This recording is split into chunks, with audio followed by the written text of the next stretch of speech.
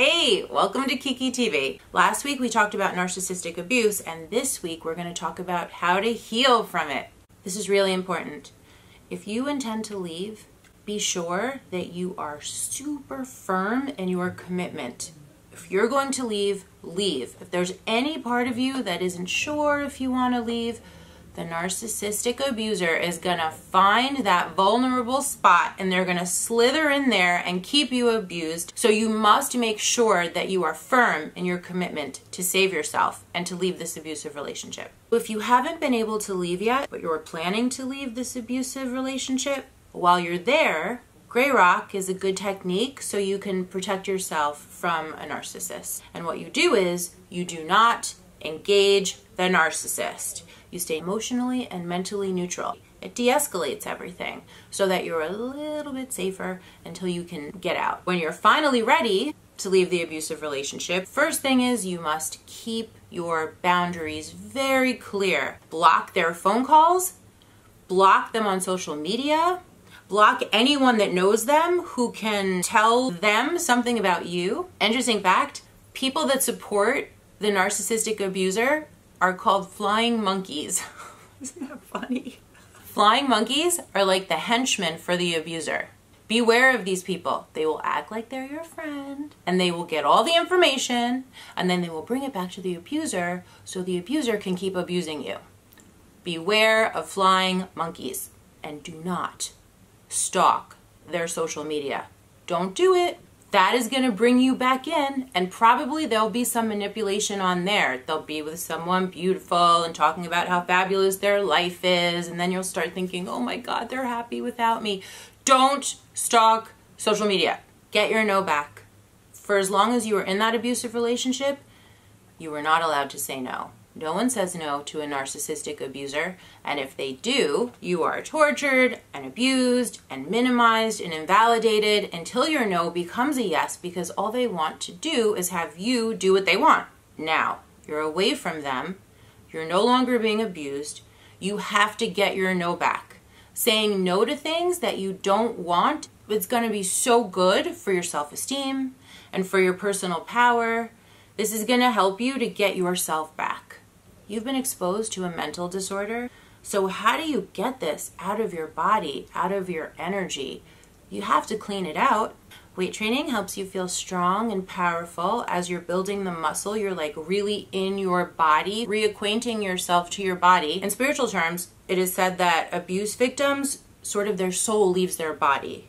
But psychology calls this disassociation. Yoga also gets you back into your body. And as you're stretching with yoga, you are releasing cellular trauma. Something that I found really helpful is hands-on healing. Harmonium and Reiki and Jin Shin Jyutsu, sound baths, prayer. There's meditation and journaling. Meditation helps you to get rid of the trauma. Journaling is a way that you could figure out who you are now that this has happened. And then we have the big one, therapy. Therapy will help you to figure out why this happened in the first place and what in your life made you comfortable with this kind of behavior. It'll help you to realize what you missed, what you ignored. It's important to debrief and reflect so that this never happens again.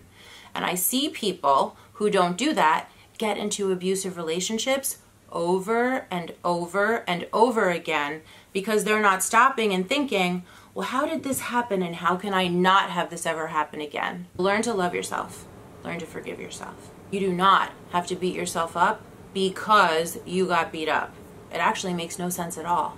Therapy can help you to forgive yourself. You can skip the whole guilt, shame, and self abuse and self destructive behavior. Because often, when abuse victims leave their abuser, we carry on abusing ourselves for a while. Don't do that.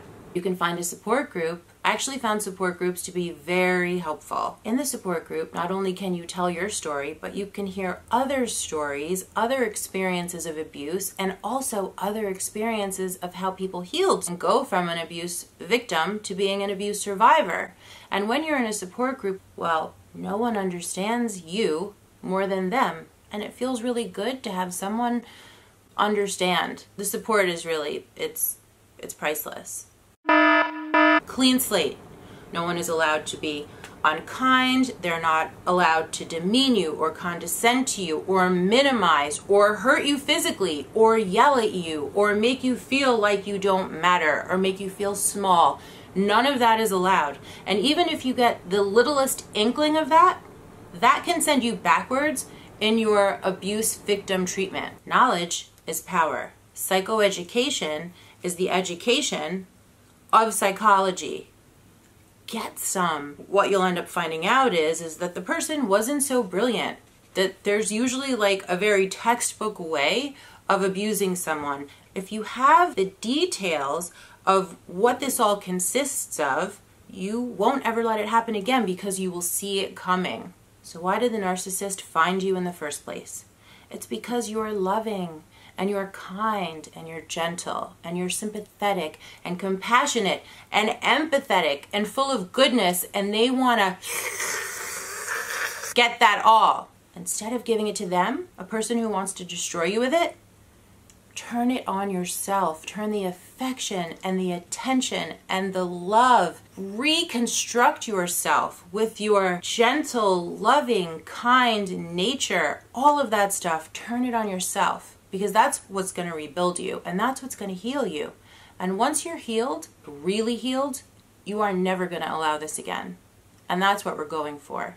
Best self, best life. And you deserve that.